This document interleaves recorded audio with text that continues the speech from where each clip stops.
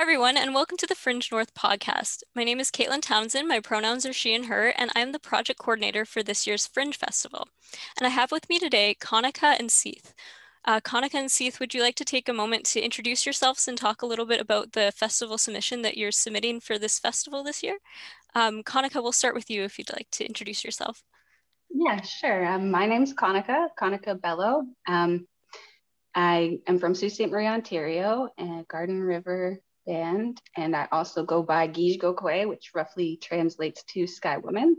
Um, this year's my first time participating in Fringe Festival. I've had opportunities prior and heard of it before, but this year just felt right to kind of take this opportunity with DJ Seith to break into this fringe scene and uh, show everybody what we've been kind of festering on and working with mentally in a creative way since this pandemic began.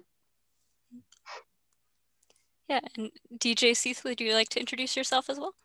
Absolutely, yes. My name is DJ Seith. Thank you for having me on. Um, I go by he, him, they, and them. Um, also from Bawating, aka Sault Ste. Marie, Ontario, and uh, been DJing for a better part of 20 years now. And uh, yeah, I'm just really excited to be part of the Fringe Festival and to kind of share what we've been working on, CONiKA and I. And uh, yeah, that's it. Yeah, thank you so much both for coming on. We really appreciate it, uh, Miigwech. And would you like to tell us a little bit about uh, what category does your submission fall under? Um, so like. Certainly hip hop. Um, yeah, it's very poetic. DJ Seith is a vinyl DJ, which is part of what I appreciate so much about his art and his craft is his brain works in a different way. So what he did was he found a break that he really liked and it kind of made him think of me and the kind of content that I create. So he sent it my way, gave me a little idea of what he would like it to sound like, and immediately it clicked. There was already stuff going on in my life that I needed to write about and kind of digest. So when I got to hear the break that and the idea that he had for it, it all just flowed really naturally. And it felt really nice because it's been a long time since we were able to collaborate on anything new.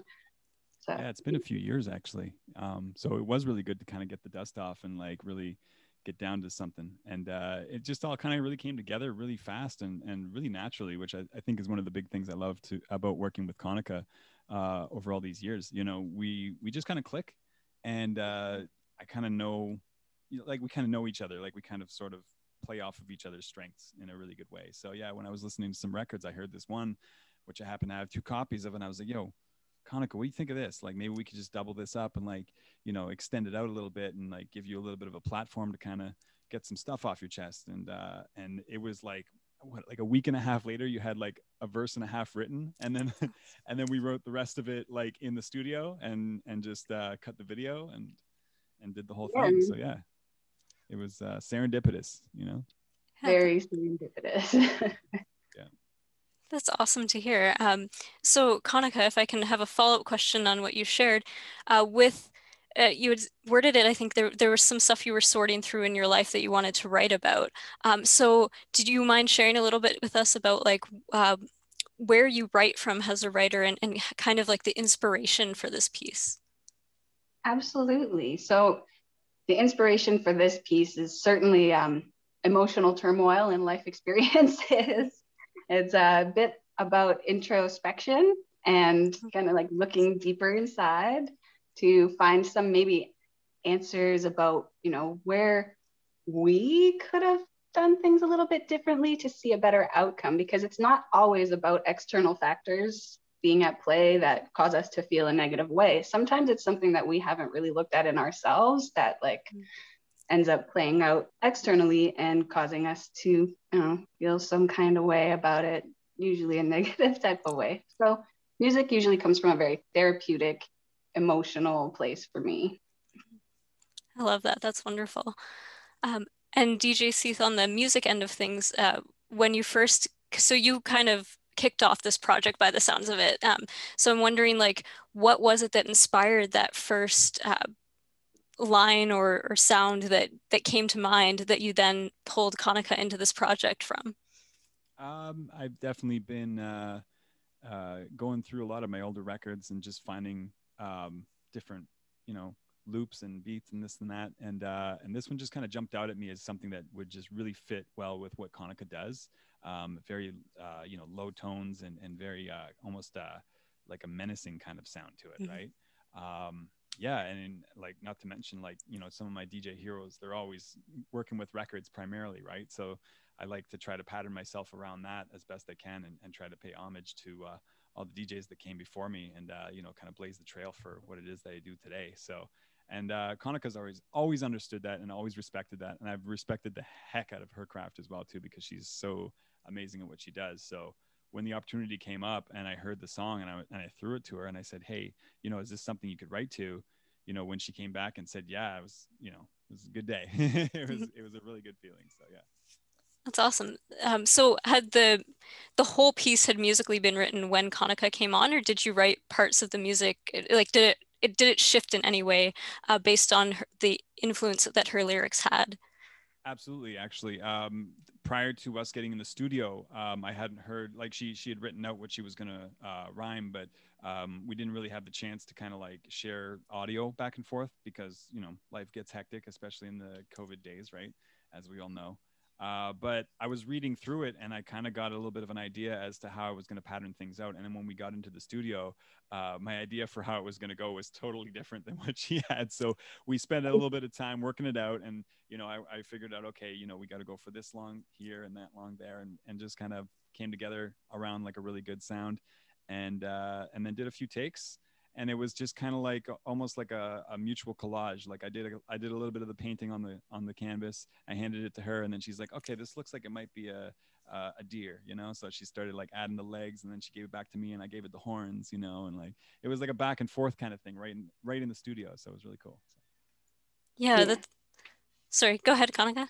no, i was going to say yeah that's one of my favorite things about the way we collaborate together is we can work from a distance, like we get each other's vibes, but the moment we're in the same room and he's got vinyl and I've got a pen and paper, we're able to just like, okay, I did this little bit. What do you think? How does it make you feel? What does it inspire you to do? And then he'll add his little bit. And yeah, we really get to flesh things out better in person. So, mm-hmm. you know, the whole entry that's going into Fringe Festival is pretty much just a, a documentary of our collaborating situation and how we work together. Mm-hmm. Yeah. That's awesome. That's one of the things that I found is coming up a lot in these different podcasts is that like co-creation pro- process and like the coming together and how artists like feed off of each other um, and just how it makes like such a beautiful community um, as we're working on our different projects that in different areas of art that seems to be like the common thread regardless of if you're a playwright um, if you do the acting if you do music like all these different pieces it's always that um, coming together in the co-creation process that just has that like beautiful beautiful community aspect to it. Um, so I'm curious because you had shared that this wasn't your first project that you've worked on, but it has been a significant amount of time between your last project that you worked on together and this. Um, so how did you meet as artists and when did you first start collaborating in the past with each other? And like how often have you worked together too? When did we meet as artists? Over 10 years, I want to say about 10 years. Yeah, probably around that. Um, mm-hmm. it was uh, I would say probably about 2011, 2012 that we first met, and uh, it was, was it that Lop Lop show that Lop Lop show. That's right.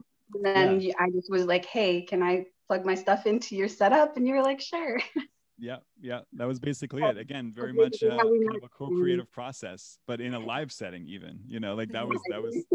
and, and I remember that day pretty well because that was the time when I was thinking like, you know this is definitely somebody who's not afraid to take risks you know that's not afraid to uh, be uh, vulnerable and be real as even in public spaces it doesn't like you, there's no on off you know it's just that's that's CONiKA, right? Mm-hmm. And uh, I thought that was absolutely beautiful. And you know, we kind of just played off of each other's strengths the first day we met, you know, and just kind of felt each other out like in a live setting on this stage, and it was pretty wild.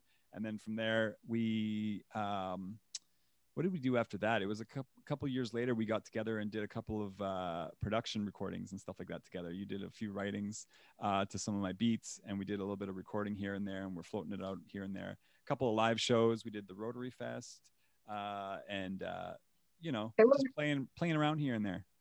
yeah, and before we like actually got to sit in the same room and like do some collaboration, I'm pretty sure that it was just a couple of shows that like we didn't know each other, but we both got put on the docket. So like mm. either you were opening and then I was after you, or I was opening and you were after me, and we yep. just kind of ended up mm-hmm. getting to know each other through that process. And then yep. yeah, actually sitting in the same room and like vibing out some vinyl and then when i when he would find a break that would inspire me to write something i'd say yeah that's the one let's loop that and see what we can do yeah, absolutely. yeah mm-hmm. yeah i find that interesting that you were put kind of like in shows before you even knew each other uh, like whoever was curating the lineup kind of recognized that you would pair up well uh, by the sounds of it which is kind of neat mm-hmm. to just uh, see that it's it it's just like a, a, natural thing, I guess, for the two of you to be in combination with each other.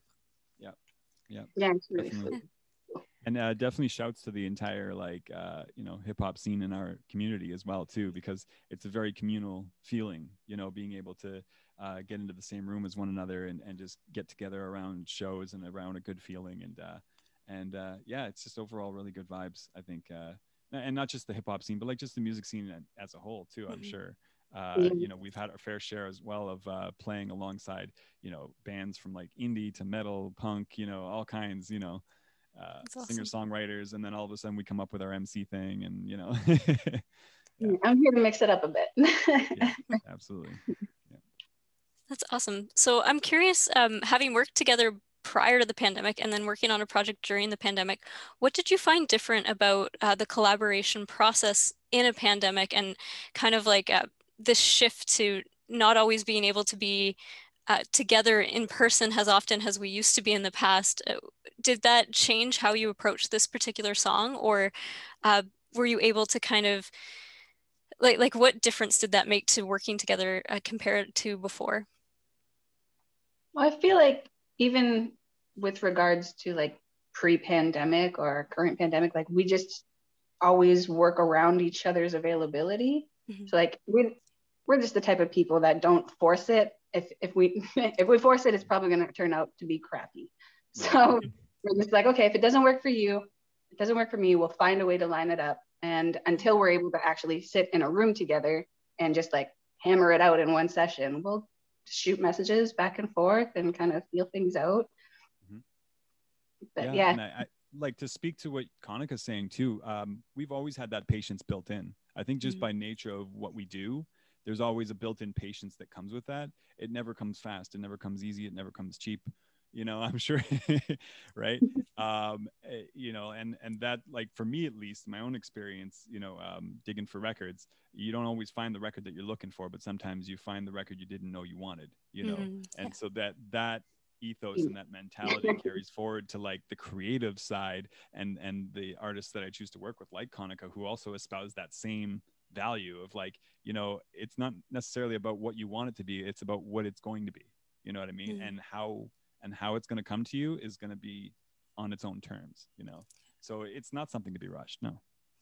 That's awesome. Um, so what is your favorite part of working with each other and the favorite um, element? Because every uh, every artist that you work with is unique in some way and and we play off of each other in different ways right? So i'm curious as to what do you see as like the, the greatest strength, I guess, of your particular coming together as artists?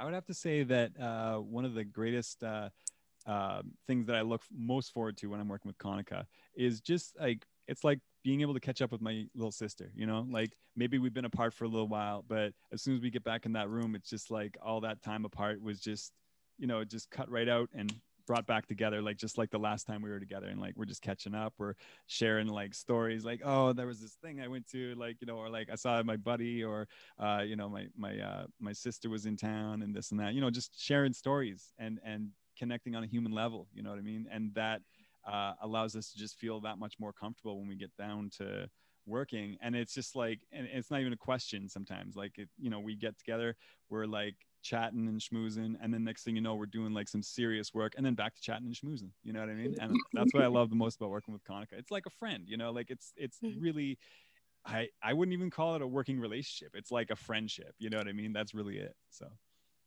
I would have to agree 100% from the first time that we really like hung out and talked music. It went back and forth between the schmoozing and talking music and work and fun stuff. Yeah. And it just comes really naturally, like a sibling relationship.